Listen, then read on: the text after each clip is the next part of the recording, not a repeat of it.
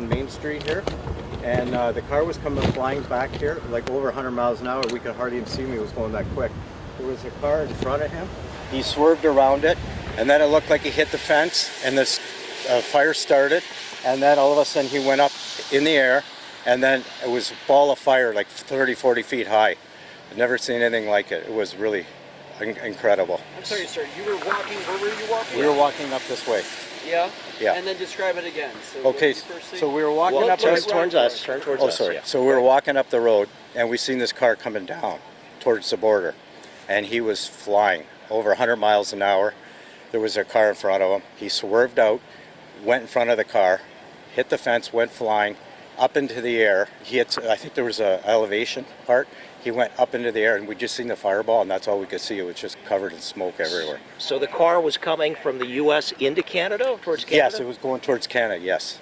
Okay, did it actually hit towards the bridge? Where was that elevated area? There was a fence there that's fenced off around there. It looked like it hit part of the fence because it's all damaged. And then it went elevated up and then it went up into the air and then it was just a fireball and smoke everywhere. And uh, did you see officers like pulling weapons or doing anything like Not that? Not till later. I had never seen him pull a weapon. But I, it took about 10 minutes for, like the border police were there obviously, but it took about 10 minutes and all of a sudden there were just police everywhere. All right, did you hear any other noises or anything? We heard a big bang. Yeah. Real loud bang, and then Yeah. then you saw this car and the explosion. Yeah, and we, I said, there's no way that guy's going to stop. There's no way he can stop. He's just going too fast. You couldn't tell if it had what kind of license plates on it or No, anything no, no, we couldn't, no. Well, how would you describe the car? Um, it looked like a Chrysler 300, but somebody told me it was a Bentley. But it was, there's similar cars in, in that, so yeah.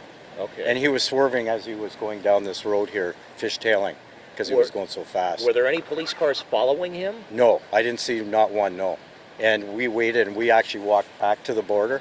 And then we were there about maybe 10 minutes, and the police all started to come. Uh, how many people could you see? How many people were in the car? Do you think No, just the driver? I have no idea. No, we couldn't see. It was just, he was just going so fast. You never saw anything like this before. I've never seen anything like this. It was just incredible. The, the fire was so high up in the air. I, I just, the, my only concern was I hope nobody else got hurt. Because if anybody was in that way, that I don't think they would have survived. Did you see any ambulances or? They came after, but it was a, quite a bit after. The fire trucks are there obviously first, and then uh, the police came, and there were all kinds of police that came, and then the ambulance came after. You couldn't see anybody being put in the ambulance. No, I or- no, I couldn't. No. Okay. Uh, and uh, just uh, did they talk to you? Did they question? They got my number. I told them I seen what happened, so they took my phone number down. They said they would contact me if they needed to. Wow. Okay, Yeah. An incredible experience. It's wow for sure. Yeah, it is. Yeah. All right. So that you- first bang you heard, sir, was that after you saw it fishtail? It, it was well. He was going down here fishtailing. He pulled out in front of another car, and then I think that's when he, because he was going so fast, he hit the fence, and there was a fire then. But then when he went up again, he must have hit the building, and then there was a big noise, and then the flame just shot up in there, and there was nothing but smoke. Then you couldn't see nothing. so you, do you think it actually hit like one of like where the bridge inspectors are? Or do you think it was a fence more?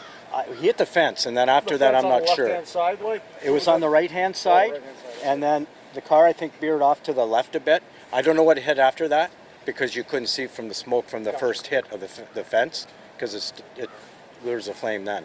Correct. Already. Uh, It, it- would you say like 20, 30 feet? That yeah, I would say when we seen the major, yeah, it was at least 30 feet. Yeah, And it was the car you think that blew up? I, I would say so, but I don't know for sure because Right. I don't know what it hit. Okay. All So- right. Okay, but you're okay. Your Uh, yeah, we're okay. Yeah, we were just walking, but we were kind of in a little bit of a shock to see this because I don't think that person is going to survive the way it, and their car parts were everywhere in little pieces.